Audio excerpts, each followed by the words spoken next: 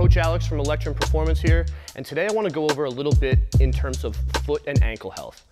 Not only are the foot and ankle oftentimes a bit neglected in the weight room and a bit deconditioned because the muscles aren't as sexy to train, but at the same time, in Brazilian Jiu-Jitsu, they're often a point of attack. So they experience a significant amount of trauma.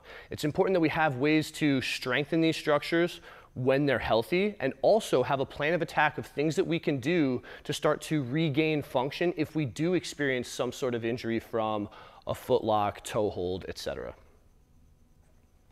So I have Coach Matt with me here today, and we're going to go over a, a, foot and ankle series that we do while walking to try to warm up a bunch of ankles. Uh, so I'm here with Coach Matt, and we're going to go over our walking foot and ankle series where we address a bunch of muscles in the lower leg. So what we're gonna do is we're gonna start in a forefoot position where Matt is up on his forefoot, the heels lifted off the ground, and he's gonna start feet neutral, which means they're not splayed out or in. And from here, without letting his heels touch, he's going to walk forward generally about 10 or 20 paces. For now, you get a good enough idea. Matt, go ahead and walk back. Cool, and he's staying neutral. He's up on the forefoot, not letting those heels touch. Once he completes that, we're going to still be doing a forefoot walk, but we are going to be externally rotated. So his toes are pointed out. And from here, he'll do the same thing, walk down for about 20 paces, turn around, and walk back. Then, after we've completed that, we're going to go internally rotated. Very similar position, up on the forefoot, not letting the heels touch, walking down and back about 20 paces. So this is going to do a really good job of um, really warming up uh, the foot, but at the same time, um, the gastroc and soleus. And we ideally want to do this either barefoot or in socks so that the muscles of the foot are working as well. Once we have those three forefoot positions down, we're going to do the same three positions but on the heel. So now it's going to be uh, warming up muscles of the anterior side of the, the lower leg. So we go neutral from the heel, about 20 paces and back. As soon as we finish that, we'll go externally rotated, walking on the heel still, and back. And then we're going to go internally rotated on the heel. Try not to let that forefoot touch the ground. Try to keep that internal rotation. Good. About 20 paces down and back. So we have those six initial positions, right? Neutral, externally rotated and internally rotated for both the heel and the forefoot. Then we're going to sort of put everything together. And we're going to do a neutral heel to toe walk where Matt steps out to his heel, supports all of his weight on that one foot, rolls to his toe, and lifts his body weight. Good. Steps across and lifts his body weight. Excellent. And we'll do the same thing about 20 paces down and back. If you're looking for a bit more of a strength stimulus here, you can obviously increase that distance. So now we're going to do some banded in and E version of the ankle, allowing us to focus on smaller muscles that can absolutely get damaged in jiu-jitsu, but won't be targeted with traditional calf raises. So we're gonna take a, a thinner band like this, we're gonna place it around the ankle and pull it off to the middle, uh, the midline of my body. I'm gonna grab both parts of this band bring it over the ball of my foot and up the side, taking slack out.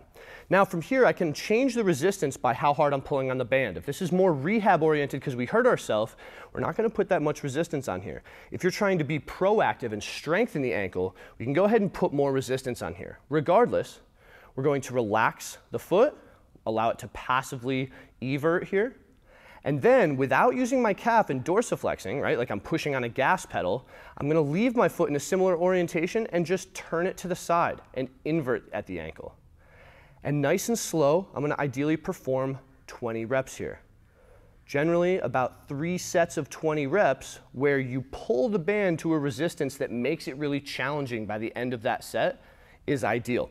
So we'll do 20 here, right? We did that starting towards the midline. And then we're gonna do 20 towards the outside of our body, where we then still cross the ball of the foot. We pull it up. Again, we're not pushing on that gas pedal. We're relaxed here. And now it's gonna pull us into inversion.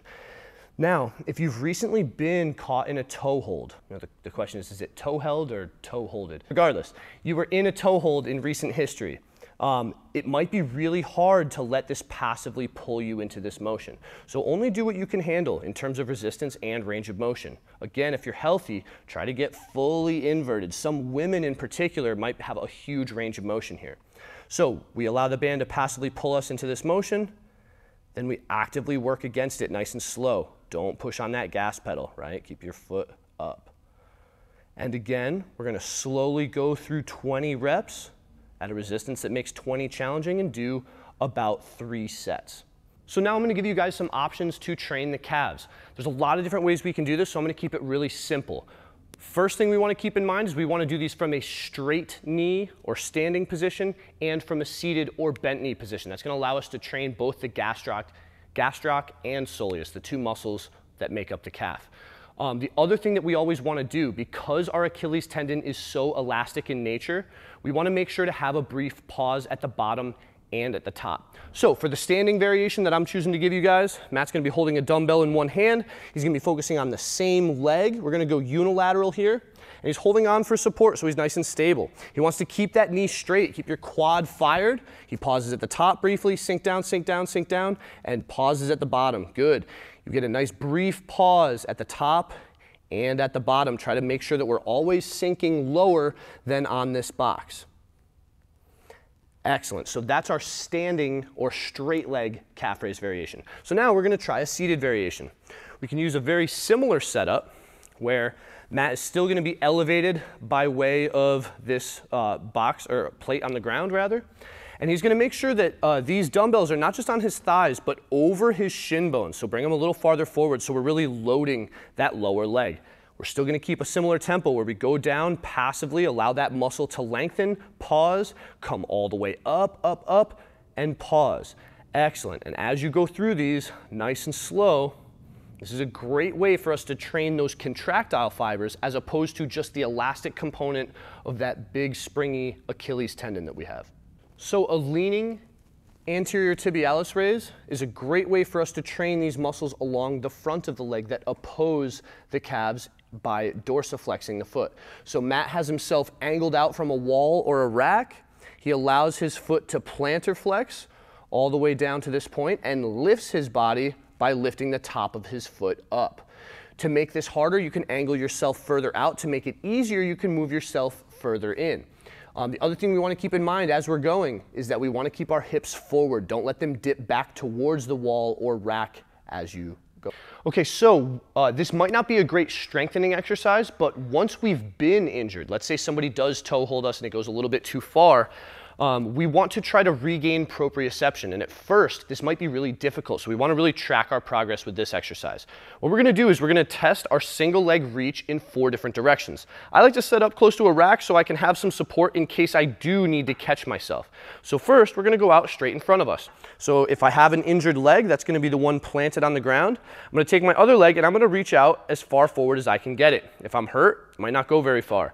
If I'm a bit healthier, I might be able to get it much, much further. So that's our first direction. The next direction is gonna be straight out to the side and try to use this support as little as possible, right? I try to touch and come back in without using my hand. And if you're ever not sure, try to do it a couple times, right? Uh, exhibit a degree of control like I am here, where I'm not like stepping out to it and stepping back. We wanna really measure how much control we can exhibit in each direction. Then we're gonna go out behind us. We sort of hinge at the hip, reach back with that leg and back in, right? Always touch back at the center, reach out and back in. And the last direction, we're gonna sort of cross behind the support leg and reach out to our other side. So I step here and back up. Here and back up. If you can, try to even, if you're in the rehab process, you might even be able to mark the different spots on the floor to show your progress. And as we start to regain some of that proprioception in the lower leg, it can demonstrate to us that maybe like now we're ready to start drilling, or even as we start to get really far out, maybe we are indeed ready to start rolling again.